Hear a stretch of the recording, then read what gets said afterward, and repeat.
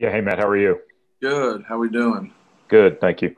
Uh, just obviously, Illinois got a lot of weapons. How do you go about kind of dealing with them?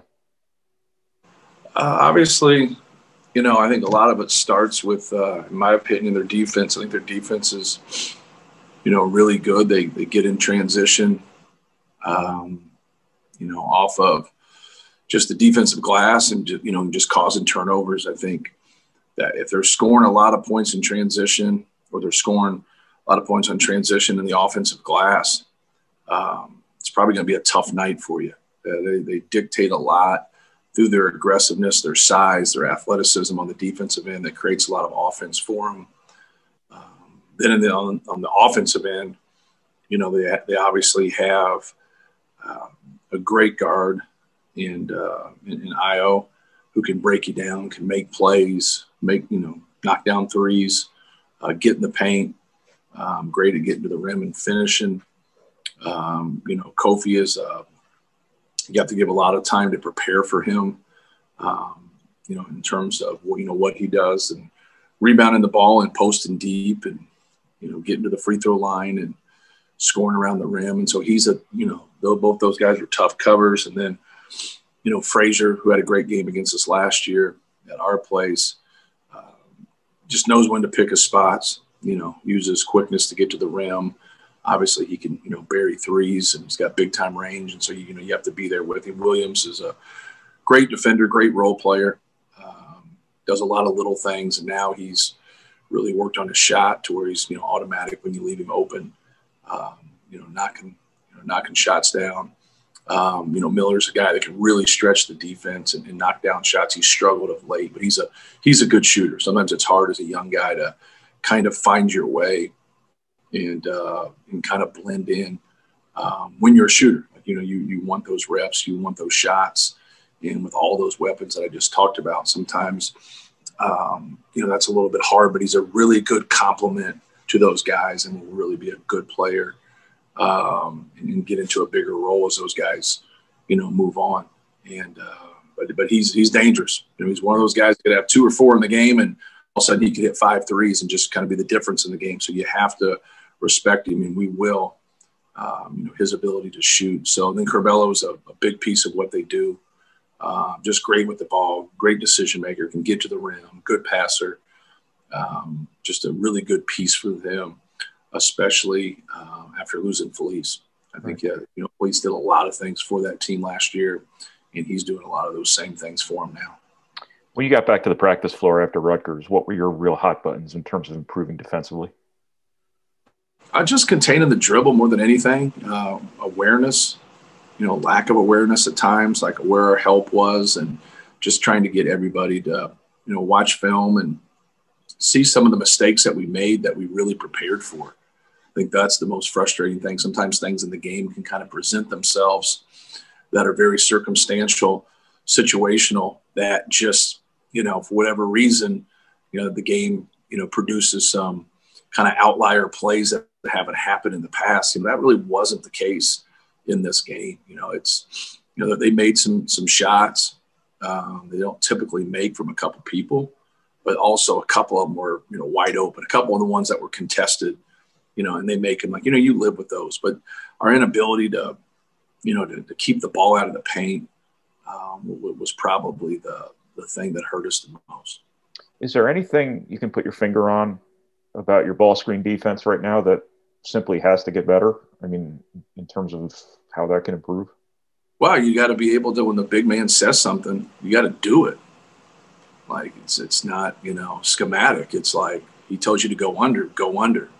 He tells you to down it and keep it on the side, down it and keep it on the side.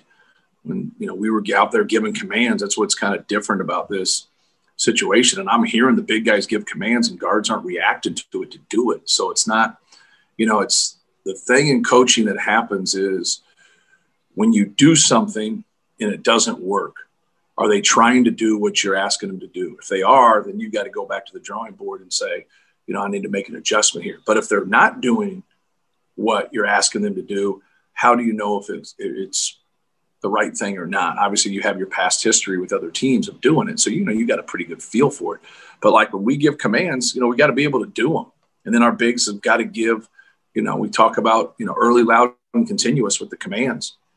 And uh, so it's more on us doing our job.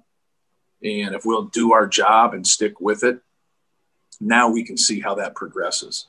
And I'm pretty sure if we do that, we're going to be better at what we do, or we wouldn't do it in the first place. But if it not, then that's when you got to you got to be able to make adjustments. We're not in that mode right now. We're just not consistent enough um, in, in, some basic things, and so you just got to keep drilling. Right. You know, you got to keep drilling. It's not what we're doing; it's how we're doing it. Right, right.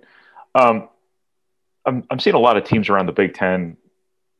Their benches are really animated when guys aren't in the game. They're walk-ons, whoever it might be, or mm-hmm. acting kind of like sort of de facto student sections. Has that been an, emphasis for you and your program to make sure the guys who are not, um, yeah, or is that something you're seeing what you want from those guys that they're engaged? Yeah, it's, I, I think all the benches, you know, around the country are really getting into it. It's something that's happened in the past where anytime guys got up to celebrate and cheer, referees are waving for them to go down. It's it makes no sense. It kind of shows you the guys that are making the rules don't understand it and get it. It's like you got to have some passion. You got to have some energy. Like you can, you know, those guys are a big part of your program. You know, you got guys that are over there that are going to sub in and play. You got guys in there that are not going to sub in at all. And but like they're a part of your program and they're cheering on your team. And so I've never understood that before why they're always getting waved to sit down when they're just sitting there cheering for their team. Um, as long as they stay out of bounds, like you know who you know who who cares. And uh, so this has kind of opened it up to kind of show like I think we've kind of seen some uh, some some benches that are having a lot of fun and you know because you got to create your own energy in this situation. And so our, our, guys have done a really good job with it. Right. Um, just one last question, real quick, uh, uh, about defense is there is there something else?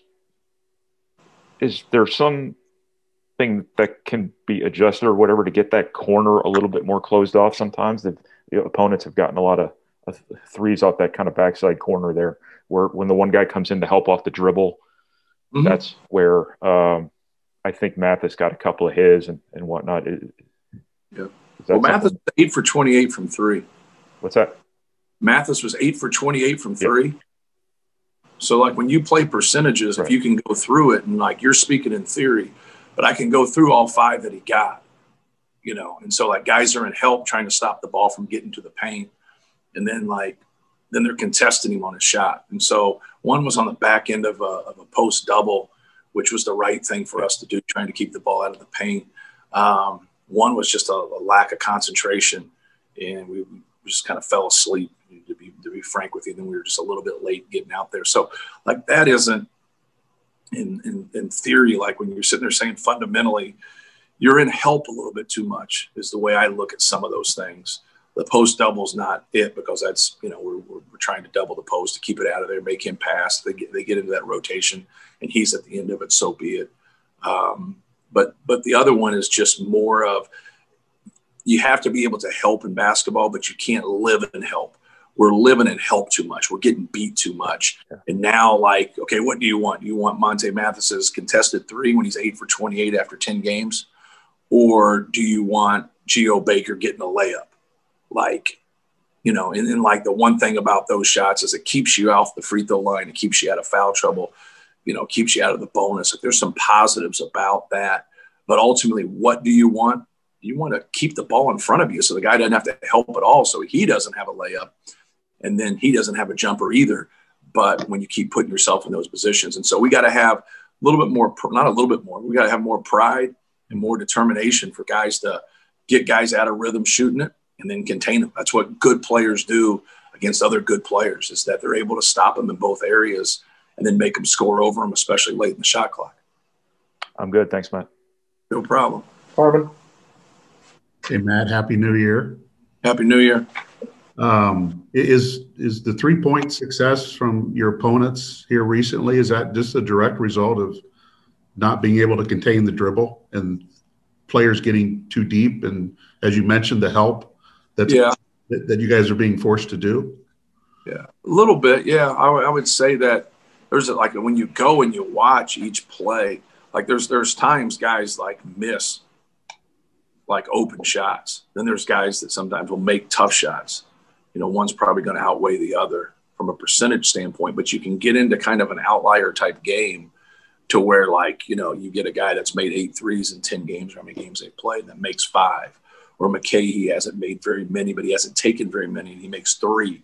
So they have 11, but those guys have eight between them. Like if I was going to stick with people, I would stick with the two guys more, Young and Baker, that both made one. Baker made his the first shot of the game.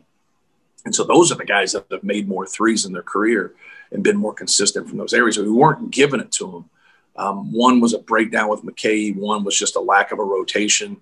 Um, and, and, so another one was a, a, contested shot that I'll live with him taking that that he just made. So you got to give him, you know, credit for it. So, um, you know, yeah, that's it's, it's not really for us.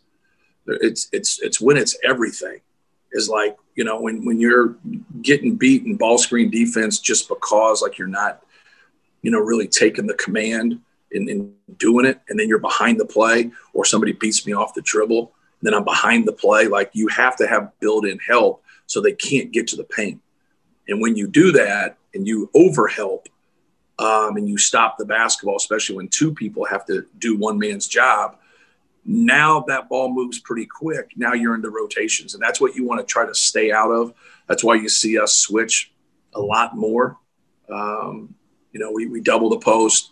We, we switch some th- things away from the ball. We switch one through four ball screens, not always, but most of the time. And you want to keep out of those rotations because once you get into rotations, people that know how to play and people that know how to pass and shoot, they're gonna they're gonna make you pay. And so I think that's for us is is more important. You work a lot on rotations because it's going to happen, but you don't want it to happen a lot. So those are just some things that we have to, you know, to just to, to be better at and keep working at. And um, like we've talked about, we have a, a wide range um, of, of defensive experience. And um, but you have, we have to have more defensive production. We have to have guys that are just simply better at their awareness, simply better at doing their job, and then at times just you know recognizing what's going on especially if it's like late clock stuff and where your help is and containing the dribble and knowing the strengths and the nuances um, of your opponent. I just wanted to ask about ethan morton just where from a conditioning level and kind of how he feels physically where yeah. He's getting better. There's no doubt about that. Like he's a guy that's kind of ended up being the odd man out and that wasn't how we really had it pigeonholed to start the season. You know, you still have to be productive and you still have to earn that spot. He really helped us when we were shorthanded earlier in the year and got put in a tough spot um, because he condition wise wasn't ready. But now he's he's a lot better, but he's kind of in that numbers crunch.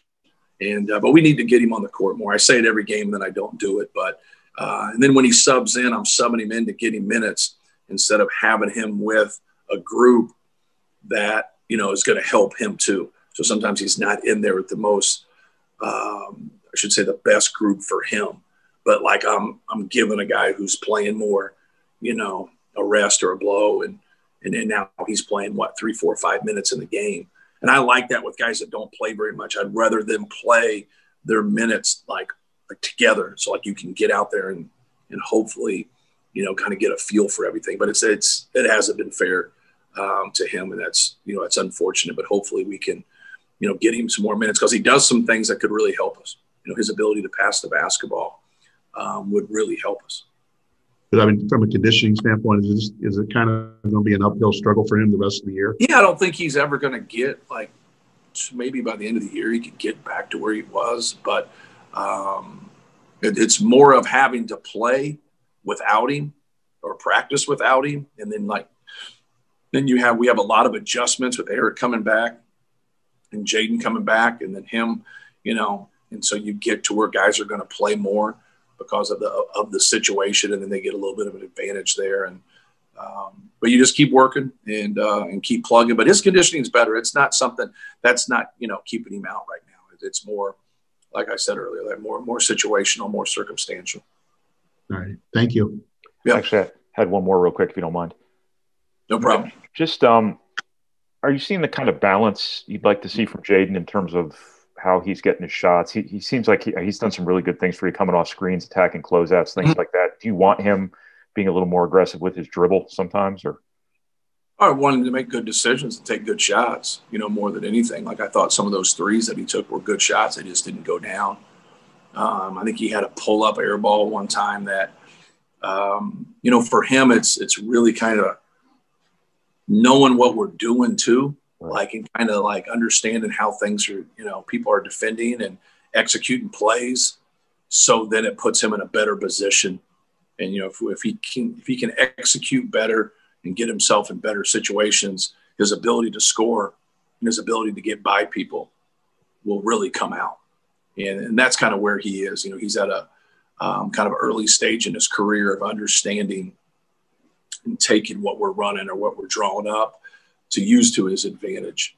Um, but no, he's, you know, he's, I thought he did some good things the other night. You know, he had some nice drives and, you know, got to the basket and was aggressive and, um, like I said, like you know, he needs to, to, balance that with some of those shots that he took on the perimeter, you know, because they're good shots and he's a good shooter. Even though his percentages aren't great, um, that that's going to balance out. He, he's a pretty good shooter.